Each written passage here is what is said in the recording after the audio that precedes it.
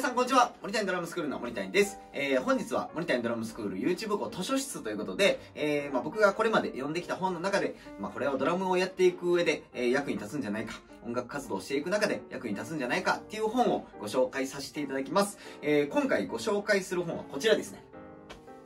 え、無駄にならない勉強法、樺沢志音さんの本ですね。えー、樺沢志音さんは精神科医の方で、えー、YouTube もやっておられます。まあ、僕が樺沢志音さんを知ったきっかけも YouTube なんですけど、まあ、YouTube で、えー、脳科学とか、えー、心理学とか、えー、勉強している時に、まあ、この樺沢志音さんの、えー、YouTube を見まくってですね、えー、僕も大変勉強させていただきました。で、まあ僕この樺沢志音さんの本が、えー、好きで、まあこれまで8冊ぐらい読んでると思うんですけど、まあその中でもこの勉強法についての本をご紹介させていただきます。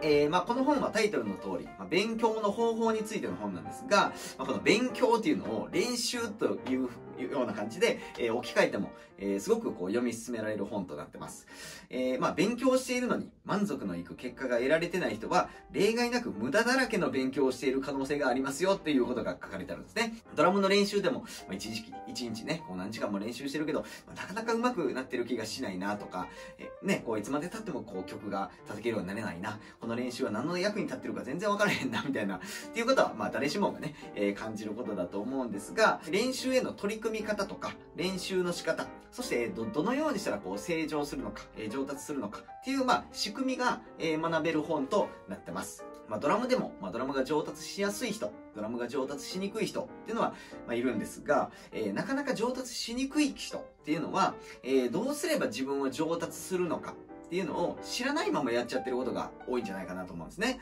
まあ、例えば、こう、ドラムの練習方法ってたくさん出てくるんですよね。こう、ダブルストローク、パラレル、モーラー奏法とかもそうなんですけど、まあ、これらはこう、何を練習するかであって、えー、どのように練習をしていくのか。自分のこの成長に沿ってどのように練習をしていくのかではないと思うんですね。自分はどのように成長するのかをわからないまま、ダブルストローク、パライドル、モーラー奏法に取り組んでしまっていることがあるんじゃないかなと思うんですね。えー、まあそれを、まあ、やっていきながらというか、やっていきながら並行して、えー、まあ練習への取り組み方、まあどんな気持ちで取り組んでいくのか、練習の仕方、どのように練習をしていくのか、まあ成長する仕組みとか、自分が上達する仕組み、が分かれば、まあ、その目標にも向かいやすくなりますし、まあ、こう効率よくね、練習していけるようになるんじゃないかなと思い、まあ、この本を今回はご紹介させていただきます。勉強法についての本なんですけど、ドラムの練習法みたいなね、なんかそんな感じで、えー、置き換えて、えー、読み進めていっても面白いんじゃないかなと思うので、ぜひね、この無駄にならない勉強法、